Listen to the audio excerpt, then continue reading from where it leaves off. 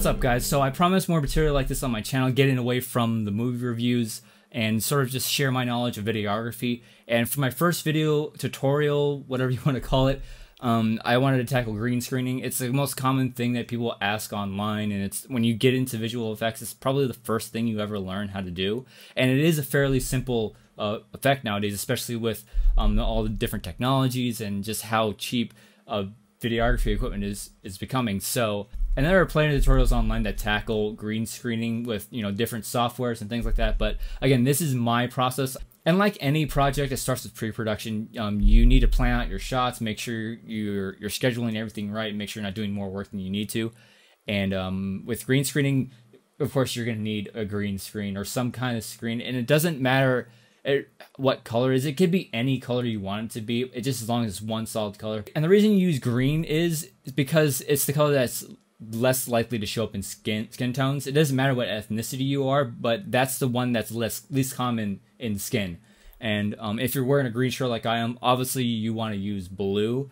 Um, and that's why I use the Chroma Pop because it's a reversible color. Um, there's green on one side, blue on other. There's a bunch of other reasons that I, I went with a Chroma Pop um, just for quality wise. It's a couple hundred dollars off of B&H Photo. I'll link it down below in the description. But you can also go on Amazon and get one that's fairly cheap for like 50 $40.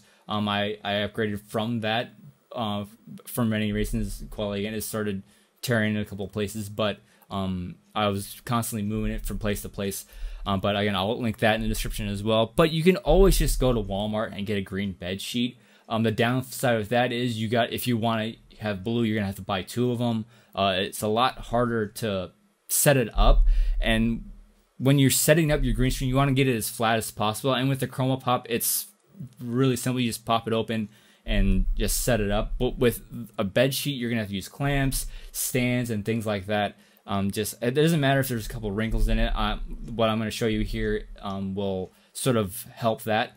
But what you want to do is set it up as flat as possible, um, and then we're gonna go over to this lovely diagram that I drew on, on my desk um, to show you how to set it up. All right, so when you're shooting your green screen footage, what you want to do is set it up in this fashion. Um, this is a very basic type of green screen setup. This is what I usually set up for um, my Red 5 standing by, what I used to do for um, my movie reviews. So um, right here is your, your green screen right here. And of and what you want to do is you want to light your green screen as evenly as possible. And normally it'll have two lights lighting your green screen only, and then you'll have your talent stand in front of those lights, at least three feet away from your green screen. And then what I would do is do the traditional three point lighting with the key, your fill, and your back. And if you have the capability to do this, I would try to light your green screen with lights that have a different color temperature um, than the lights that you're lighting your talent with. Just again, sort of making uh, the green a little bit more contrast from your talent. It'll just be easier to key out if you do it that way. Um, I don't do it just uh, for sake of setup. Um, and the, the process that I'm going to show you um, sort of helps that out as well. So now that you got your stuff uh, shot, bring it into your editing software. Make sure you edit everything. If you're doing something like I am when you're talking to the camera, like like I do on Red 5 standing by, you want to make sure you cut the video first. Make sure you're satisfied with your cut, and then you're going to bring it into your compositing software of choice. So here you are in After Effects. Um, I'm a WCC subscriber. It's totally worth the money, $60 a month. So after you brought your footage in, um, and obviously if there's multiple edits, let me just do this really quick.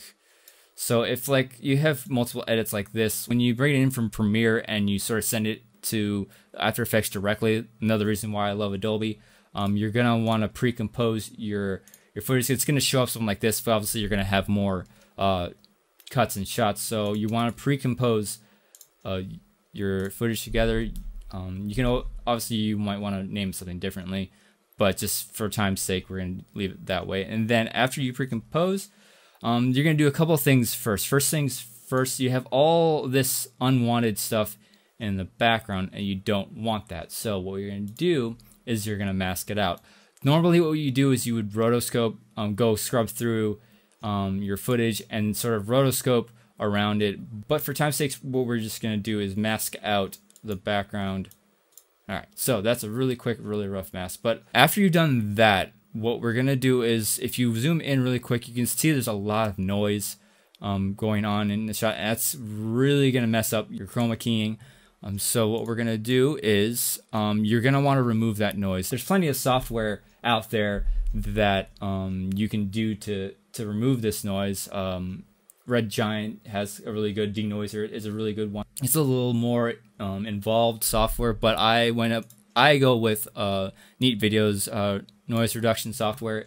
It's really simple to use. What we're gonna do is we're gonna go in here and go ahead and remove this noise just really quick. This I'm not now, so, so if you zoom in and look, that is going to make keying so much easier. So what we're going to do is apply that. What you're going to do next, you're going to take that pre-composed uh, shot or your footage and duplicate it once. And now we're going to focus on the top uh, piece of footage. So the next thing you want to do is we're going to add a select selective color to that layer. And we're going to choose green. And what we're going to do is we're going to turn the cyan to 100%, magenta down to negative 100%, yellow up to 100, and black up to 100. Now, if you look at the comparison um, to the last one, if you toggle this effect on and off, you have a lot more even green throughout the green screen. Now, this this step is extremely useful. When I found this step out, it made it so much easier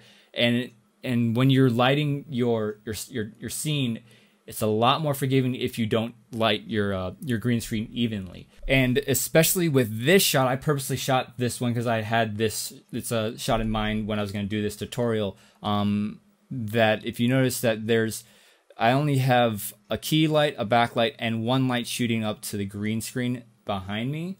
And I knew I was going to use this shot because if you look, it's not all that evenly lit. There's it, the highlights are here um, you can see the light falling mostly on my right side and then the left, my left side is a little bit more in shadow.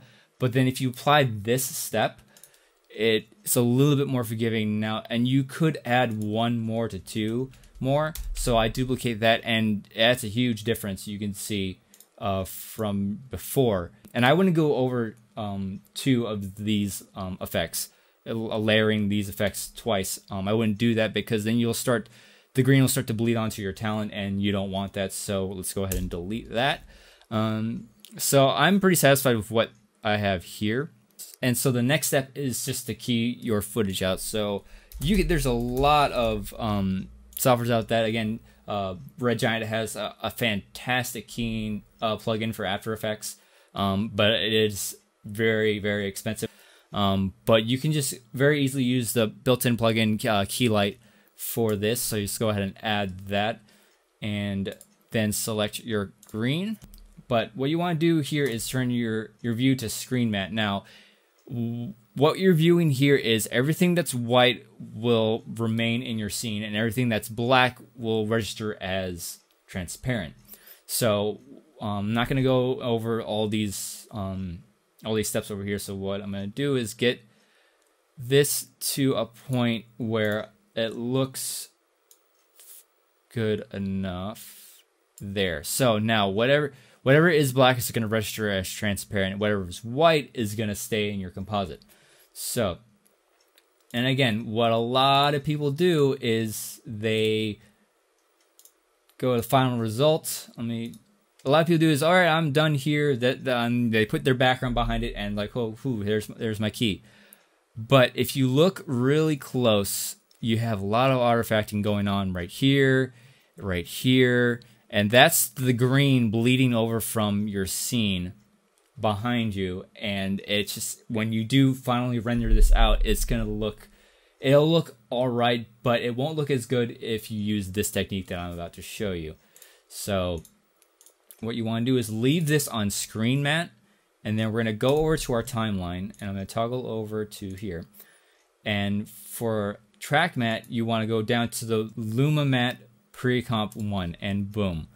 So if you zoom in again, you look at your footage and a lot of the artifacting is not there.